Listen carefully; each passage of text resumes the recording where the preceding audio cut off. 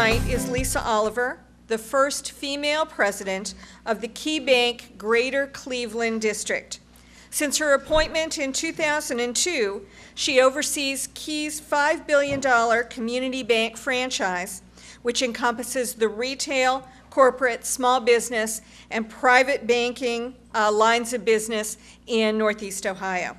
She also oversees the Cleveland District community outreach efforts and works with the Key Foundation, focusing on helping people and communities achieve economic self sufficiency through financial education and workforce development. Uh, Ms. Oliver graduated from Colgate University in New York with a Bachelor of Arts in International Relations and French. She completed Key's Executive Leadership Program at the Weatherhead School of Management and has been appointed to the Key Foundation's Board of Directors. She lives in Solon with her husband Richard and their two children. Will you all please join me in welcoming Lisa Oliver to Lakeland tonight?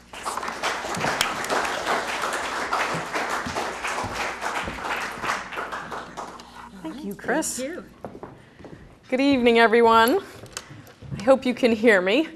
Um, I, this is a uh, this is an honor for me to be asked to join you all this evening, and I'm looking forward to uh, not putting you to sleep and hoping that you have some we have some good interactive dialogue. I spent a little time talking with Professor Barnes about what might be on people's minds. Um, certainly, I could stand up here and talk about banking and my career, and you guys would be asleep in about 10 minutes. Um, but I thought what may be more impactful and helpful to you is thinking through where you are in your lives, what you're doing with school, and maybe some of the lessons learned that I've had over time in career development and finding my way through through what has been at this point a 26 year career in banking. Um, and then leave you time for some for, th- for some thoughts, for some questions, and we'll see where the, the conversation takes us. If there's something really uh, else that's on your mind about banking in general, um, about the industry, we can certainly talk about that.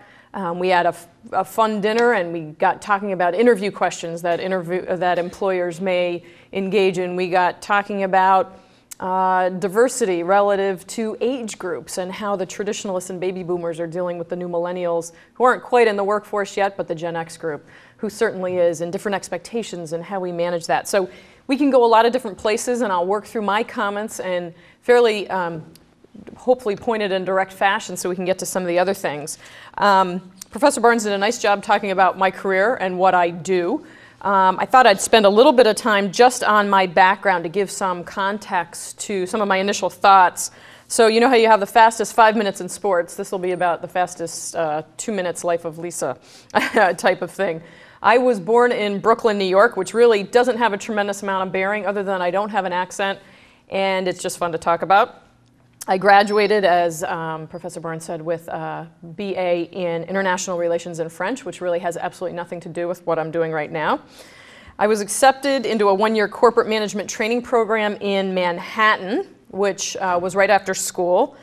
And I was thinking about international banking at that point in time. Over the next two years in New York City, I met my future husband, got engaged, decided to move back upstate New York, about two hours north of New York City, where I grew up, to go into a family business, which was dealerships. I joined Key at that time. My husband drew the short straw and went into my family's car dealerships. And I planned to stay at home as a mom as soon as we had kids and uh, do what my mother had done and raise a family. Um, the funny thing about it is my husband, my father never paid my husband enough for me to stop working.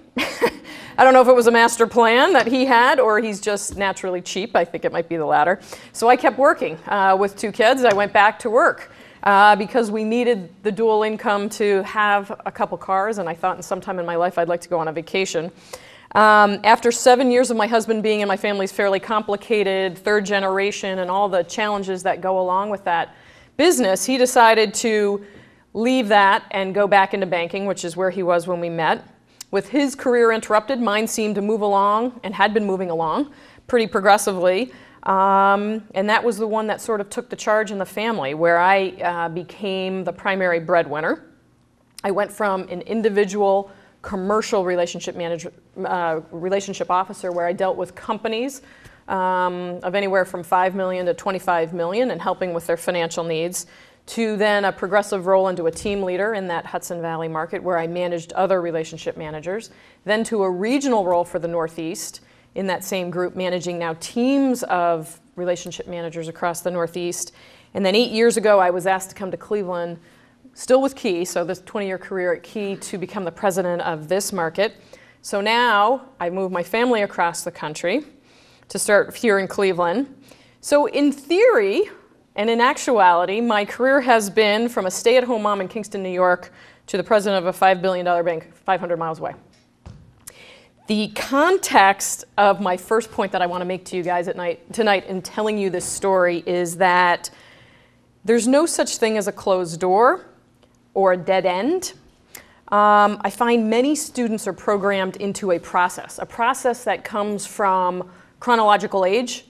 You go to school, you get a job, you maybe get more schooling, you have a little bit of a career, you find a significant other, you have a family, and it seems to follow a progression. I think there's an immediacy to the generations today about immediate gratification and satisfaction, and you've got to get to the next step, the next step, the next step. I say this and I bring it up because too often a very orderly focus and a very orderly nature means that you miss opportunities. Sometimes you have to be open, and most of the time you have to be open to what could be next. What's going to throw itself at you? It's not a stay at home mom. It happens to be a husband whose job isn't going great in my family's business, decides to go back into banking, things move, what's happening? I'm still working. My career begins to progress. I get opportunities to take on leadership roles, I get opportunities to move. Do you say no? Are you so programmed into a path that you miss those opportunities to hear about other, other areas? Um, I have a few other stories I want to just share with you to illustrate some of these points. Um, part of my career progression, as I said, I had been an individual contributor in our middle market group, and I went into a team lead role. I did that because my team leader had left, and I applied for that role. And I didn't get it. And the gentleman who came in, I thought, wasn't as qualified as I was. You know, everything you go through. Um, but at the same time, I was asked by another group dealing with smaller companies to make that move. And this was one of those things where you get faced with an ego challenge. Well, are people going to think I just left bigger companies to work with smaller companies? How do I deal with this? Do I need to save face? What is it? This was one of those opportunities where you need to just take the plunge. If I hadn't done that, I wouldn't have gotten the chance to lead, and I wouldn't have been where I am today. Another thing, and you guys run into this often, when you're told no to something, do you bail out on it or do you stick with it and do you push ahead and do you work on learning how to be better because of it? What I found with me is when I get told no, I can't have a promotion or no, uh, someone else was more qualified or no, it could even be you can't do the job. Maybe somebody's told you no, you're not doing well in this class. Do you get mad? Do you quit? Do you drop out? Or do you push forward? And that was another case in point not after I came to Cleveland. I had a new boys, uh, boss that joined the bank. He had a very intense perception about a, what a market president could be. And in our first meeting, he said to me, very nicely, but very matter of factly, I don't know that you're the right person for this job. I just met the guy. We had nothing to base that on other than he felt that could have been my gender, who knows? It could have been my longevity in the role, it could have been his vision of what he expected. But as soon as he told me he didn't think I could do the job, there was no way in heck I was going to do anything but show him I could do the job. And I counsel a lot of employees who work for me that way that sometimes hearing the no and hearing some of the reasons around it should push you to be that much more proactive with your career. I have another one which might resonate with you. As we mentioned, uh, I was an international relations French major, and um, it was my freshman year at Colgate. And you know, as you're kind of starting in a new uh, place, new courses, lots of stuff going on. I was very busy. I was very active. I was playing tennis on a team. I had a full course load, and one of my courses was computer science because when I entered college, I thought I was going to be a computer science major. Now, you can all laugh. That was back in the dark ages when our major was in the Pascal language, and I don't even know what that is anymore.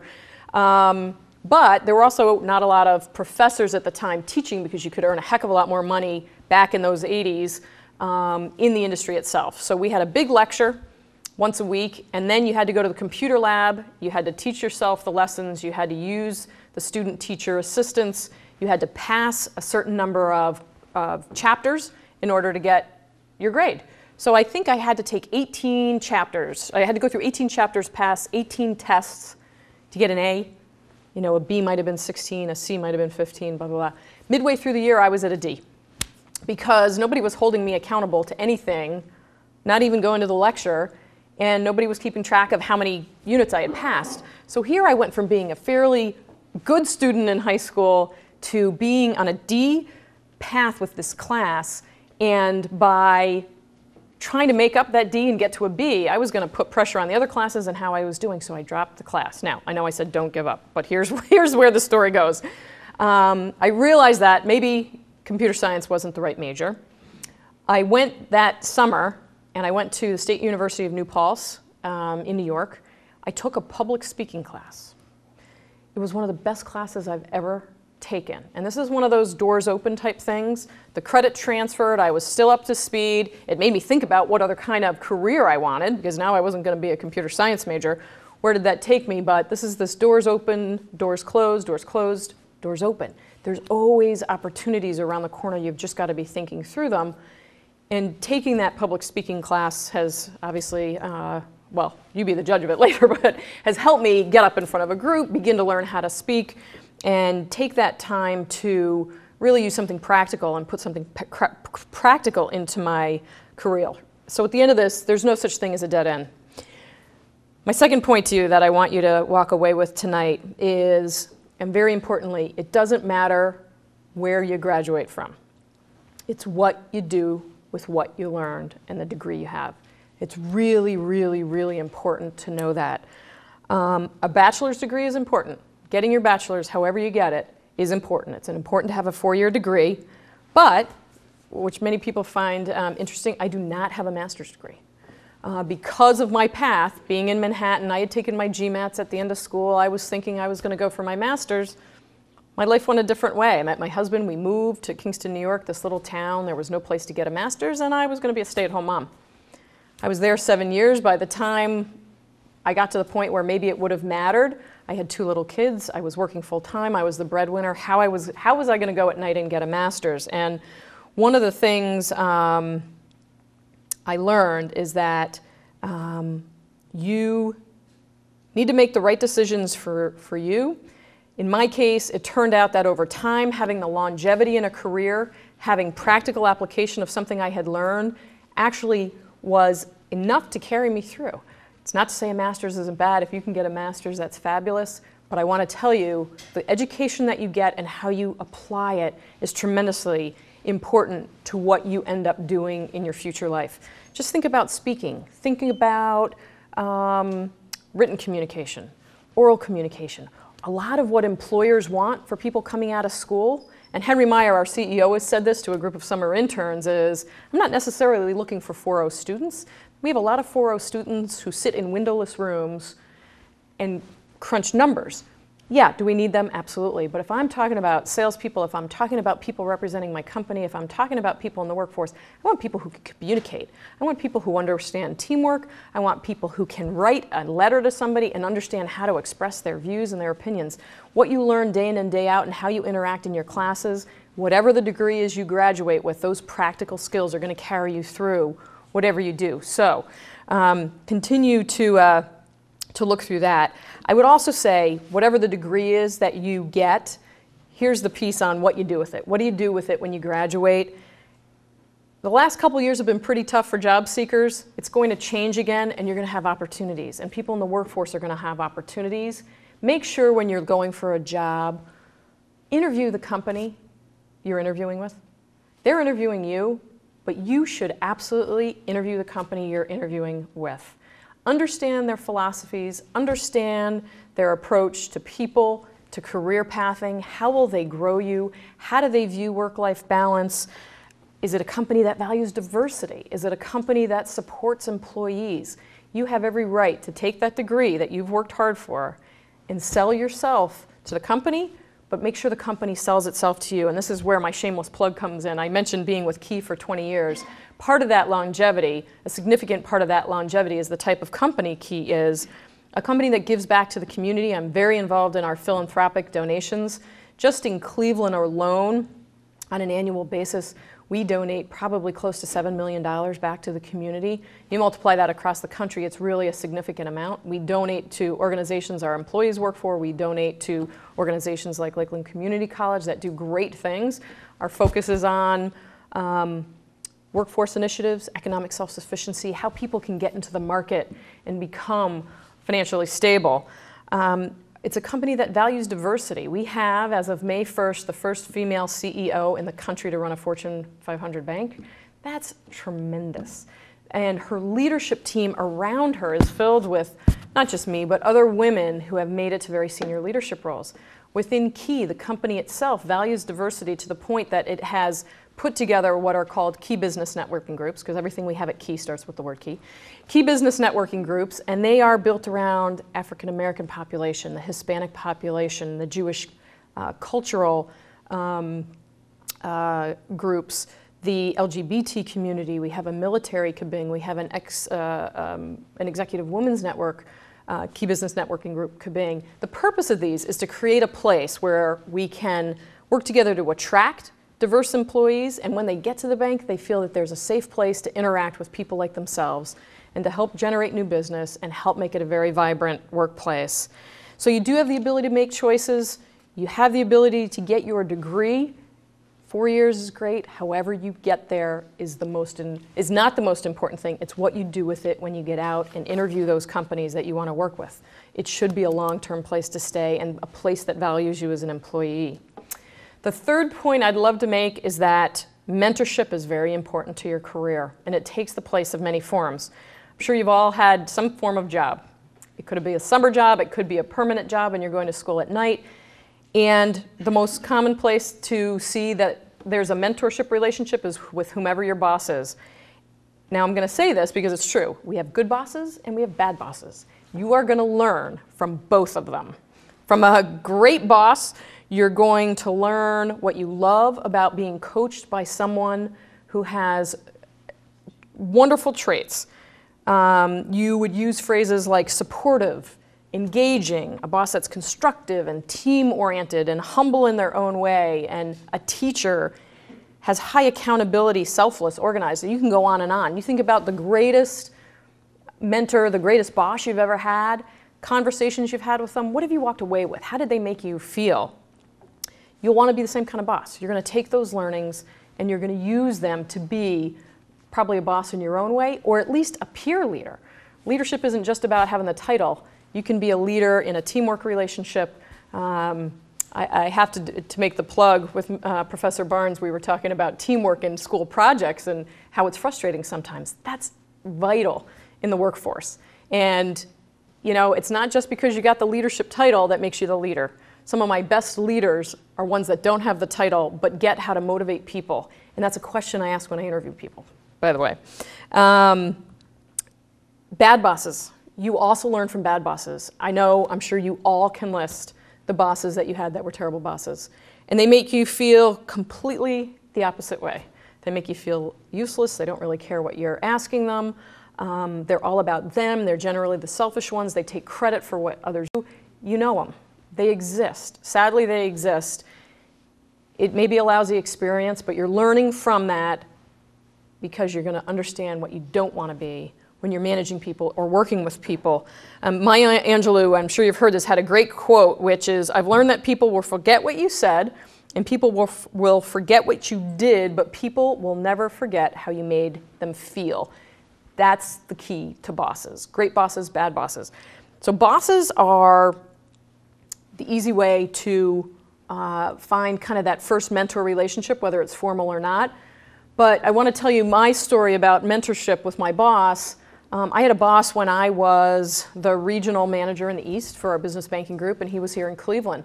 And he was a guy, and I didn't really realize what was evolving at the time, but this was a guy who, and I'll never forget one of these conference calls. We were on a conference call, and we were talking about probably some kind of pricing and something about you know how we weren't really getting what we needed to get on the money we were lending. And he was, he was very clear um, during the call that he didn't like what was occurring. He kept pushing on me and pushing on me during the call, and he was challenging me. And every time I make a comment, he'd come back with something. And by the time I got off the call, if he had been in the room, I would have strangled him. I was so fiercely intent on coming out of that call and telling him off. And before I even had a chance to think about it, he actually picked up the phone. My phone rang. Again, he's in, here in Cleveland, I'm, I'm in New York.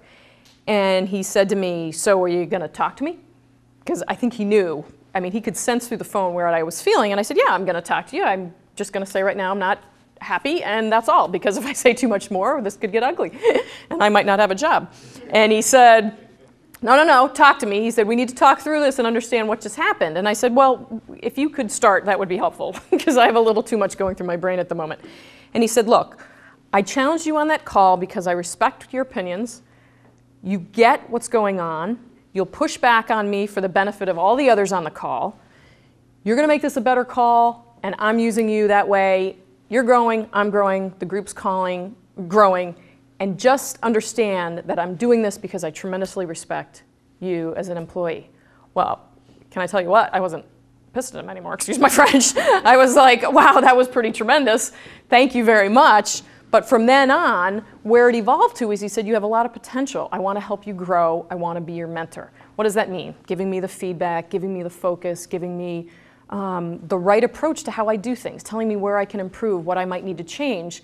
Um, and what that then evolved into was him saying to me at one point, Look, we're beyond this. I want to be an advocate. I want to take you to your next level.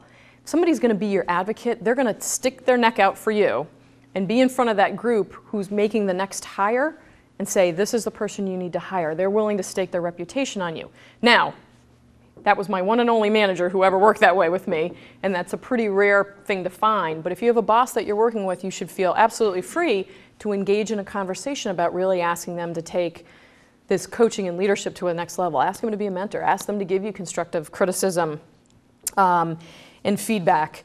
Um, I would add a few things.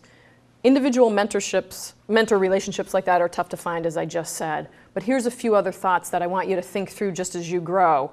If you think right now of the people you respect and trust, the person you may go to to ask for feedback, advice, problems with school, problems at home, opportunities, where do you think I should go? Can you read my resume? Can you give me a referral? That inherently is your personal board of directors. So, gone are kind of the concepts of having an individual mentor, although they exist. What is much more helpful oftentimes is having a personal board of directors. And if you think about it, tonight, if you're driving home and you have some windshield time, Think about who it is you go to. Who are the people that you ask for advice? You can make these formal relationships. You can say, you know what, I really value your opinion. Would you mind if I called you every once in a while to really pick your brain on things? I, I have a personal board of directors and I'd like you to be part of it. Or you never have to mention that to someone. You may just do it. You may make sure you make the rounds, you get input from people and feedback. They can be family, they can be friends, they can be current bosses, old bosses, your accountant, a professor, a coworker, but manage it you may add new people. Maybe some will drop off. You don't have to tell them, I've just taken you off my personal board of directors, you're out of here. But you may just not call them as often. Or you may call them out of the blue after five years and say, hey, I haven't thought, thought about you in a while, um, and reconnect. And, and maybe they become part of your inner circle. Um, again, I don't have a relationship with my current boss. Actually, I've had three bosses in the last three years for good reasons because they've been um, promoted so i have relied more on my personal board of directors. I don't have an individual boss in that role with me at this point, but there's a big group of people that I actually take on. Fourth point there's no such thing as work family balance. I hope no professor here has said that there is. From experience, there isn't. And it took me a long time to realize that. Um, there's no defined goal, there's no ratio, there's no test that you pass that you go, yes, I got it, work life balance is here the goal is get to a place in the here and now that works for you. Get to a place where you've got the right level of time away or time in. And this could be with work, it could just be with school. I mean, trying to get it all. It could be work, school, and home. How do you find that right mix? What I've also found is it doesn't happen on a daily basis. It's very hard for me on a daily basis to say, yes, I did it. It was great. I spent eight hours at work and six hours with kids, and I did this and I did this. It doesn't work that way. I have to look at broader uh, you know, um, time frames. Certain times of the year, you know, in a week, there might be three nights that I'm out, tonight being one. There might be three nights that I'm home. There's times where I look back at the week and go, or the week coming up and say, I'm already out three nights. I can't go. There may be times, we have certain times of the year that are very busy. April is one, October is one, September is one, where it's bad. If I look at the entire month, I may have a very bad work family balance thing going on. But you have to find a place where you're comfortable. And just when you think you're comfortable, something's going to change again.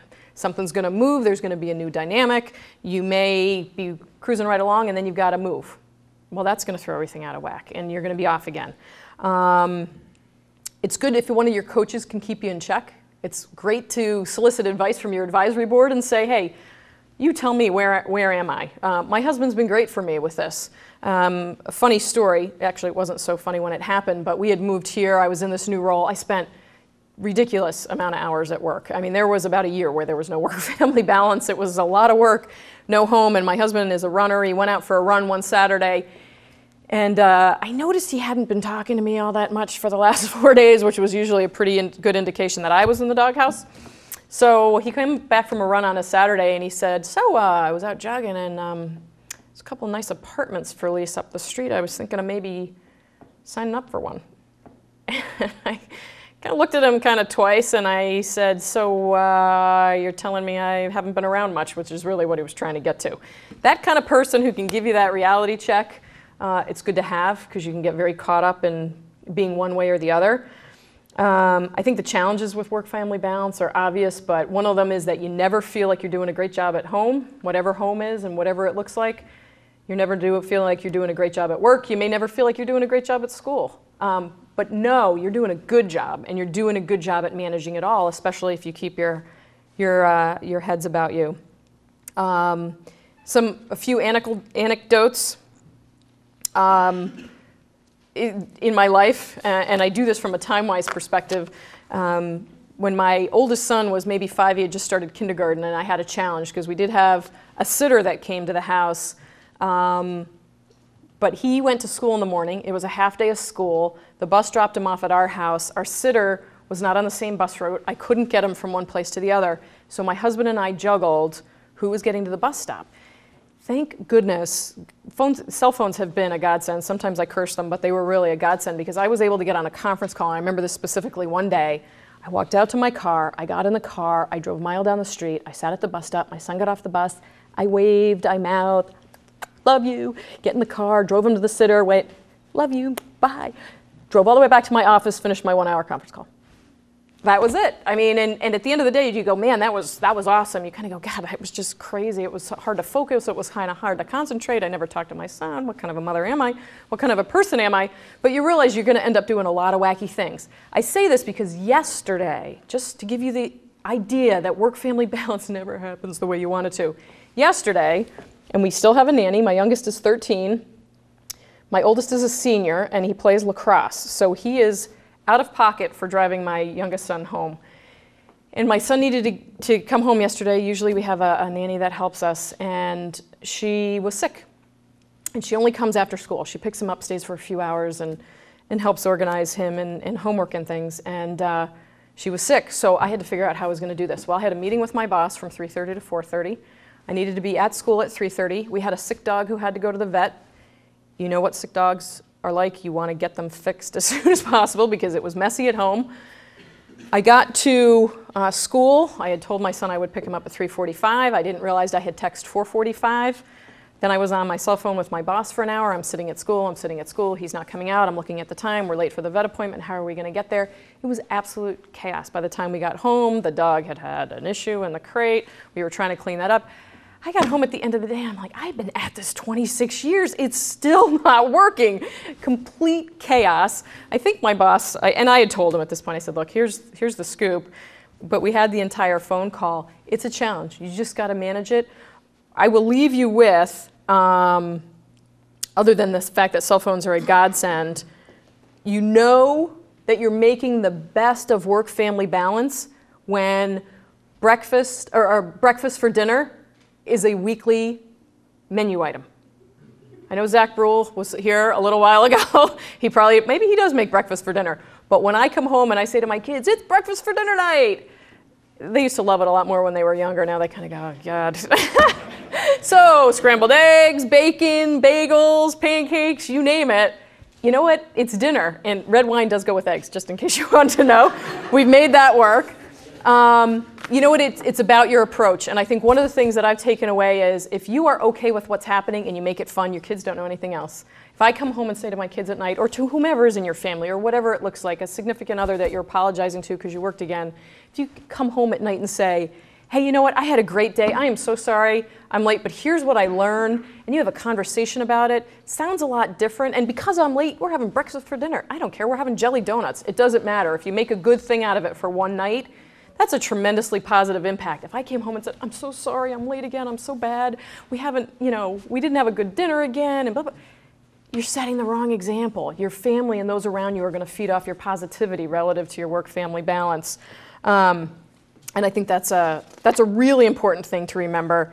Um, it isn't always about having a home cooked meal. I would say what's important is trying to find a half an hour to sit around with those in your family, what, again, whatever that family looks like, just to have a conversation. Could be 8 o'clock at night. Frequently, our family sits at 8 o'clock at night now. And by the time we're done, it's 8.45, but we've had a good dialogue. Somebody may have eaten before, somebody may be eating ice cream, somebody may be eating something else. But if you have that time to be together, it's really important.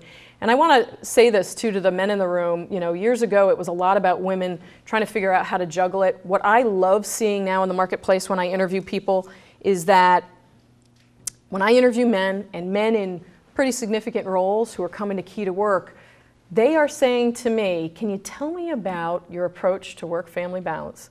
That wouldn't have happened 20 years ago, but it is a topic that is very top of mind with women, with men, men who come to me and say, you know what, it's really important for me. I'm the coach of my son's uh, travel uh, baseball team. It's a time commitment, but it's tremendously meaningful to me. It provides great balance for me. I'm a better employee because I do this. But if it's something that is not acceptable to you, you know, we probably shouldn't even talk anymore from an interview perspective.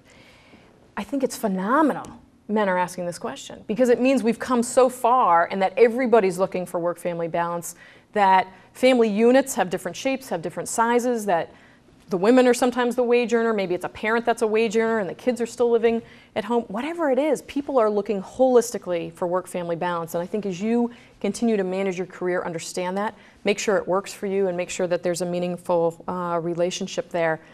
I could certainly go on and on. Um, there's certainly a whole path I could take about women in the workforce, but I would hate the guys to go fleeing out the back door. Um, but my parting thoughts would be to ask for help when you need it. Um, ask your board of advisors, ask your bosses, ask for people for career pathing advice. It's the best way to learn about how to manage your career. My other thing I would ask is as your career progresses, wherever you are, wherever you're going, whatever you're doing, carry, some with, like carry someone with you as you climb that ladder.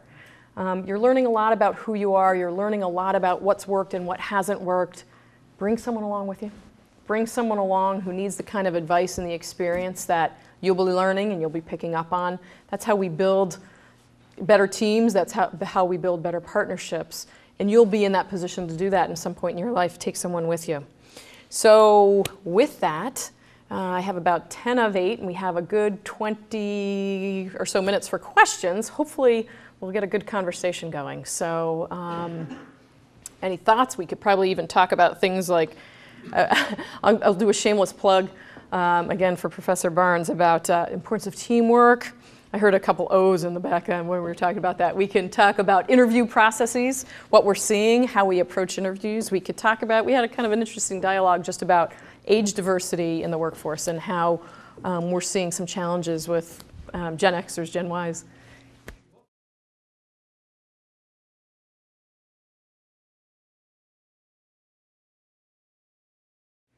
well, I should get a seat for this one. Um, you know what? There's, uh, there's been quite a number. Um, if I had to come up with a worst, um, it, it's going to be a theme because I've done it multiple times, sadly. You'd think you'd learn. Um, but it's, it's a simple one, and I think it's very um, timely relative to this age with technology, but it's shooting off an email when you haven't had time to control your emotions. So I've had a number of times, and it started out when I was an individual relationship manager and just doing my own thing. I wasn't a manager yet. And um, actually, at the time, because I don't even think we had computers, which really makes me feel old, um, we were on a phone call together, and I hung up on him because he made me mad. Talk about kind of a very junior mistake. And he was great. He picked up the phone and he called me back. And he said, Let's talk through this. And I said, Okay, as long as you don't fire me, because that was really bad. It progressed to email. And there's been times where, out of emotion, frustration, you read an email, something comes in across uh, email, and you react and you start typing away. Don't hit the send button. Don't. There's a tremendous desire to do it, get what's on your mind off your chest. And those have probably been my most regrettable, my absolute most regrettable situations because it does nothing but make matters worse. You have to come in, you have to figure out how to apologize. You've just lost face credibility, and when you do it as a manager, it's really bad. And I would say, I mean, there was even, it wasn't as bad as some of my earlier ones, but there was a time about four months ago that I probably should have tweaked what was in the email I sent. Um, and it's something that, you know, out of pride, out of a personality, out of impatience, frustration, uh, desire for a team to do better, more, faster, you, you sometimes do that. And I would say that those have probably been the situations that I've regretted the most.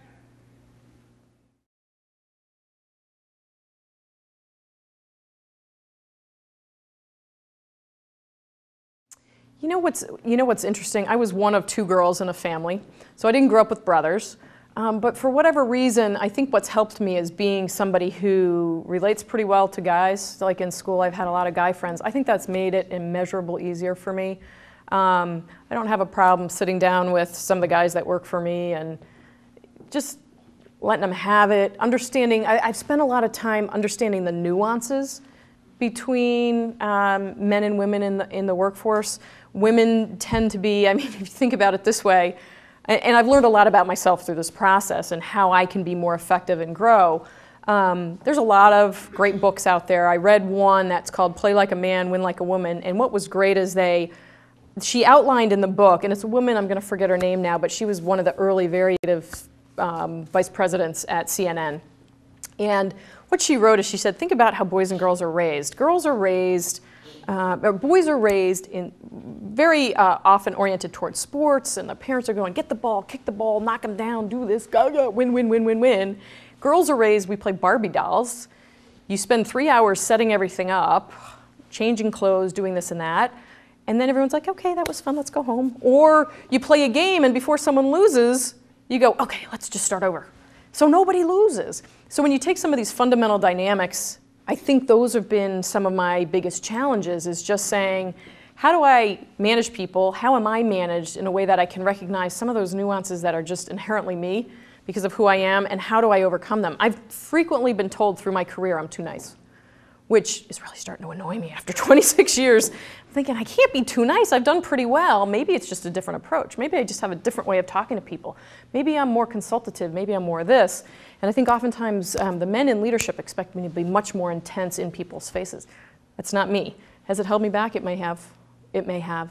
Sometimes I felt like um, certain roles, there was an expectation there would be a guy in it, like when my boss here said, You're not the right person for the job. I don't even know you. we haven't even talked yet. How'd you come up with that one? Um, so there's been some times, but it goes back to my thought about understand what they're saying. I think a lot of times when you get feedback about things, whether it be whether you got a job or not, whether you're too nice, whether you're not too nice, whatever it is, there's always pieces of truth in that. And, and a huge opportunity is how we absorb what you're being told. Yeah, you're frustrated, you didn't get a job, you didn't get the feedback you wanted, but there's granules of truth, and if you can absorb that, be a sponge. Bosses love people who like to be coached and like feedback and take that information and implement it. That's probably one of the best ways to overcome some of that stuff. So that was a little circuitous an answer, but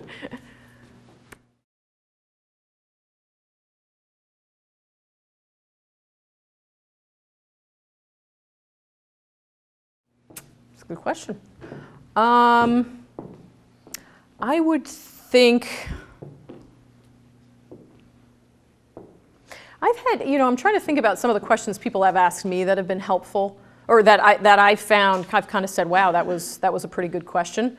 I had people say to me, I mean, you're going to have to get a sense of your interviewer, but I've had people say to me, Well, we've just, uh, because I'll say at the end of an interview, well, I want to make sure we leave time for questions. What questions do you have of me? And I'll have people say, I've had a couple people say, well, we've just talked for about 50 minutes.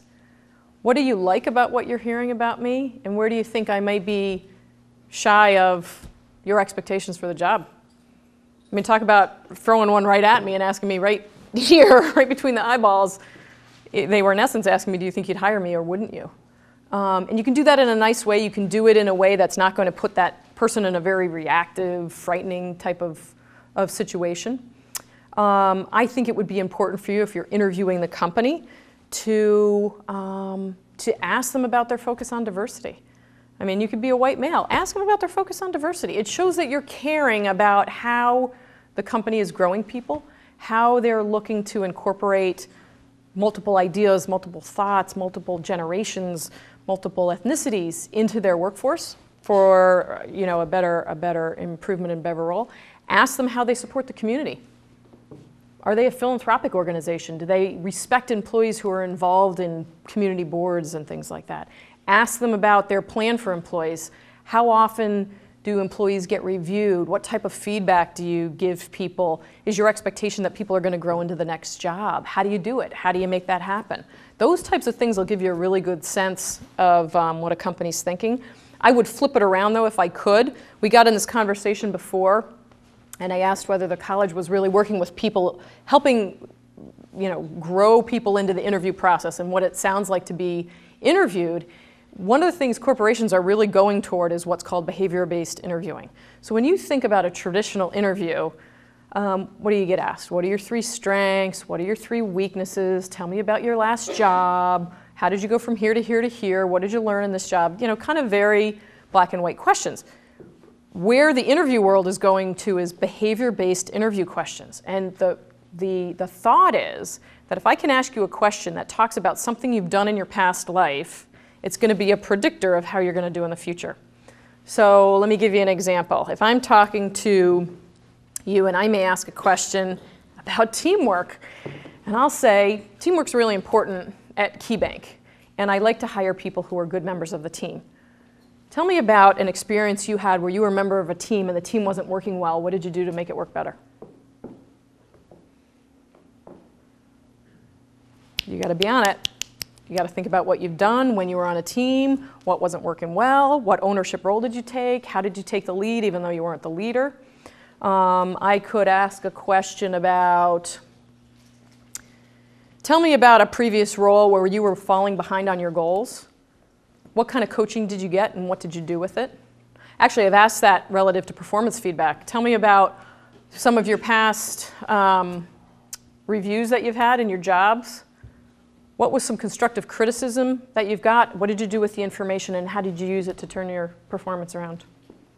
So it's really taking some stuff that you've got to demonstrate how you did something specifically, because then I can apply it to how you may perform within the company. So I just give you that as another thought.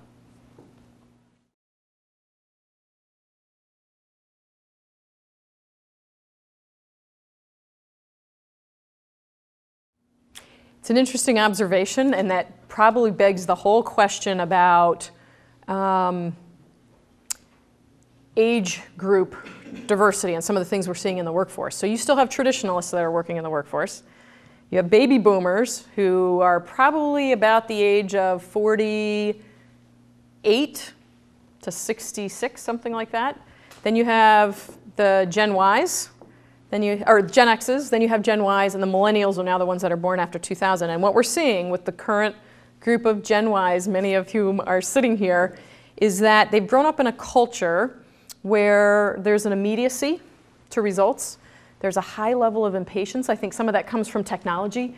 You have instant gratification with texts and phone calls and emails and stuff that we didn't have before. We had snail mail. If I, when I started at Key, if you wanted to send somebody information, it went in an interoffice envelope. It, three days later, it showed up on somebody's desk. That's how we communicated if it wasn't a phone call. I know you can laugh because it seems really strange to me now too. Um, but there's an immediacy to communication that continues on when you think about people's expectation for their careers, when you think about the fact that there's a little bit of an entitlement mentality that's within this generation. Um, and a lot of these attributes are also good. Don't misunderstand me. I'm not saying they're, they're not all good. But I think what's happening with some of the pay is we're seeing, you know, recession maybe a little has a, a little bit to do with it, but you're seeing this immediacy and this immediate gratification and this lack of patience show up in terms of people expecting to get a promotion after they started a job three months ago. You know, I've been here three months. Where's my promotion? Where's my next um, pay increase? And the reality is, is it just doesn't work that way. It's also a generation that is the uh, generation, the offspring of the baby boomers. And the baby boomers have all become helicopter parents. You guys have probably heard about this, but they're the parents who have hovered over their kids, they manage everything. Uh, we had a college interviewer tell us that their parent went through the whole interview process with the, for the child that came to college fairs and handed in the application and said, here's our application. And the person said, are you coming to school here? And she said, well, no, my son. And the, the person said, well, then it's not our application, it's your child's application. I prefer that your child hand it in. I mean, we have parents that have hovered to the point of um, taking so much control over their kids that the kids feel very catered to. The, the kids feel entitled. The kids feel like they have immediate access to anybody. We had, we had an employee, Henry Myers, our CEO, we had an employee, uh, a teller of ours, who picked up the phone and called Henry because he had an idea about how we could save some money. Um, you know, some of that's good. And harnessed, we want people to be thinking, we want people to learn, but we have to do it in a way that works within a corporate, corporate hierarchy. I'll give you an example um, because if, if you have employees that thinking they should get a promotion within three months after starting in a job, and you're thinking there's no way in heck, you got to prove yourself. What do you have? You have fundamentally a situation where you're going to have high turnover, and people are going to be coming in, they're going to be moving on. You're going to hire some more, they're going to come in and, and, and they're going to move on. So, what do I say to my, my people? I say things like, look, you came in, you started this job. I expect to see one year of full performance. I expect you to see, see you hit your goals. I expect you to see you be a member of the team. You have the goals, they're written here. After one year, I want you to do it again because I want to make sure it wasn't a fluke. I want to make sure you didn't just luck into the results. And I'll know. I mean, I'll know whether the person was just lucky or whether they were really driving it. And we'll give them kudos and we'll give them accolades. We may give them some, some increases. But the, the flip side of continuing to move and move on from careers is if I get a resume of somebody who looks like every year they've changed jobs, I am not going to hire that person. I want someone who's stuck with it. I want somebody who's gutted out the tough times. I want someone who's been willing to show results. Doesn't mean I'm looking for a 25 year employee every time I hire somebody, but there's got to be some kind of a trend. So that was more broad of an answer than I think what you asked me, which is why salaries are, are lower now.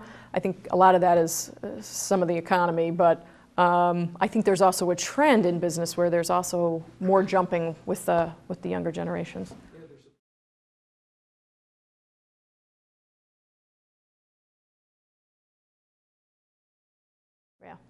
Uh, we're actually we're absolutely seeing a trend like that. There's there's definitely been more part-time um, focus. Some of it's benefits, but I also think there's more flexibility if you need to scale back hours, move hours. If you have attrition and some people leave, and you've got a couple part-timers, you can move that around more flexibly. And I think that's probably also right. So you're getting paid part-time work instead of full-time work. I'm seeing that change though right now. We're starting to see a trend where it's going more to full-time. That there was.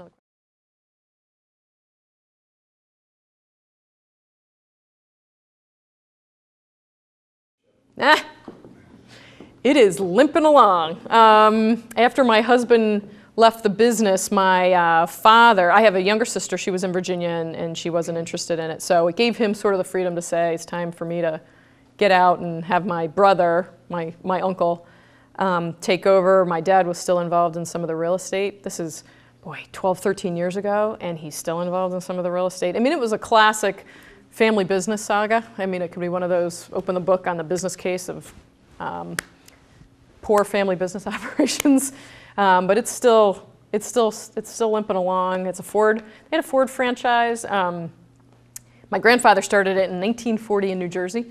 Um, they moved upstate following IBM's growth in the late 70s, early 80s. They added what was Datsun, which is now Nissan. I, you know, in a couple of my summers I worked, um, I worked there back in the uh, service department, which was pretty funny because I had absolutely no idea what I was doing. But it was a good experience. And we had no cars on the lot because everybody wanted a Datsun for the fuel efficiency, but they couldn't make them fast enough. So we kind of had four cars on the lot that would scatter around. You could order one, but it would take like six months to get a car. It's kind of an interesting, interesting, uh, interesting time. So still limping along. My uh, my uncle and my cousin are still kind of involved in it. It was uh, lucked out being, you know, of the big three, uh, probably one of the better ones to end up with after the recession. But uh,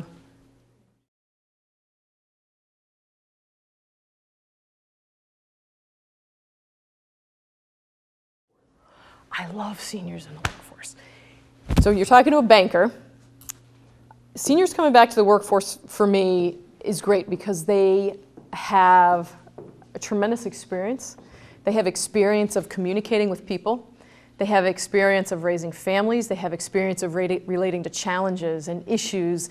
They've got life's experience of dealing with financial issues. And if they can get in front of clients, um, they're, they're tremendous. They love to communicate. They love to talk. They want to be back in the workforce. Maybe sometimes they have to be back in the workforce. But that type of knowledge when you're trying to work, when you're working within a client service industry is tremendous. We have um, specifically the teller line, and a lot of times part-time work is great for, for seniors. They can come back and be behind the teller line. They are phenomenal.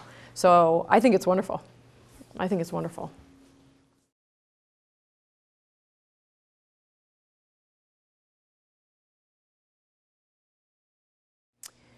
And you said you're working now? Yes.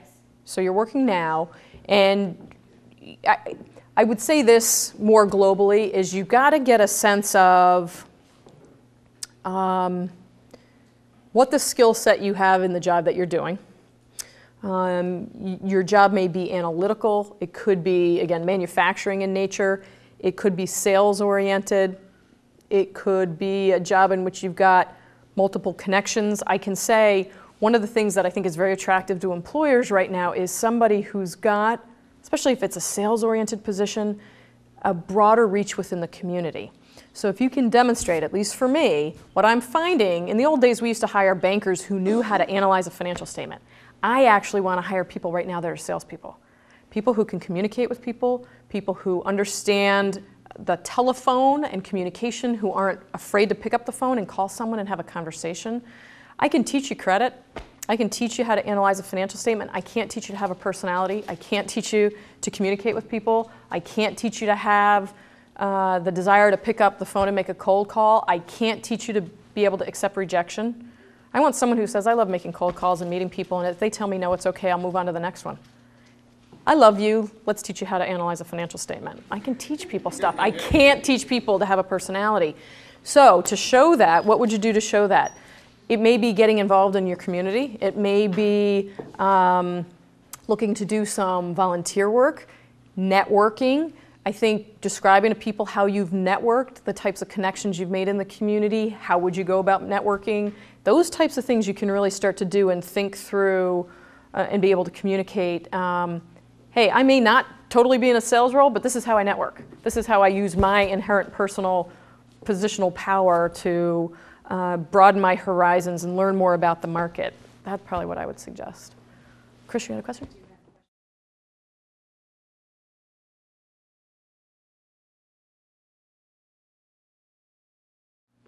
So, three people applying for a job, the next le- level job up, they're fairly similar in terms of performance, outcome, successes as an individual contributor. What would I look for in putting them into a leadership role? I would look at the amount of effort they'd invested in their own personal growth. So, some of them may have said, Look, I am interested in leadership in the future.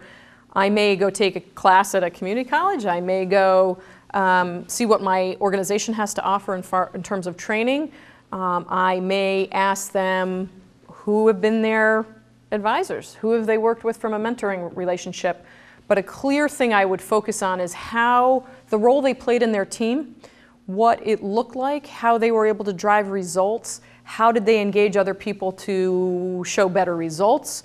Um, a lot of the things that would say, here's the net that you cast, how have you made it this much bigger because of what you've driven personally? How have you taken on inherent leadership role without having that title? Capturing a team, creating a team, pulling someone along. I mean, we have a lot of people who are not managers, but in their the success they're having in their individual position, they may be pulling someone along with them. Someone else on the team, they have, may have reached out to that person and say, "Hey, would you mind if I gave you some thoughts or some input on this? Next time you go out before you talk to a client, why don't you sit down and role play with me? I'll be the client. Let me help you figure out what that sounds like. I'll play client, I'll be bad client, I'll be good client. Let me hear how it sounds." That type of individual initiative is what I would be looking for.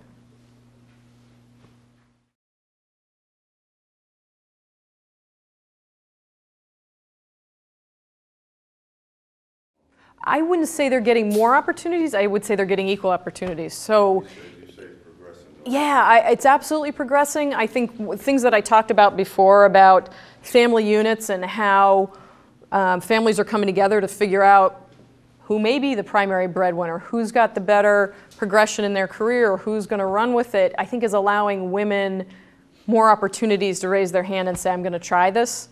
I think women are being just groomed and to speak more, to be a little bit more intense, um, outspoken for themselves, not as shy and reclining. I think the workplace is generally developing that, that kind of sense. Um, and I think there's more men who are willing to say, you know what, if you're if you're doing great, have at it. I'll raise the kids. I'm good with that. Um, and that really wouldn't have happened before. That was probably a pretty embarrassing thing 20 years ago. If a guy said, you know, my my wife's out there, is the president of the bank, and I'm raising the kids. I mean, I thought it was funny when we first moved to Ohio. My husband stayed home for the first eight months because it was chaotic. And one day I came home and. Um, we were talking about the next day, and he said, "Yeah, I'm going to the zoo with the moms for a play date." And I thought, I'm not going to tell anybody. You just told me that. but you know, we're hearing that a lot more. And then that night I said, "So how was the play date at the zoo?" You know, it just seemed weird, but it's more and more commonplace that I think the way family units are looking at how they expand and how they approach things are affording women more of the opportunity to stand up and be accounted for. And um, I think they're getting, they're having equal access now, not more, more than the men.